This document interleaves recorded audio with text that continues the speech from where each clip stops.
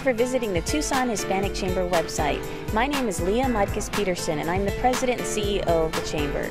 Take a moment to look around, check out our calendar of events and our upcoming activities. Thanks again for visiting us.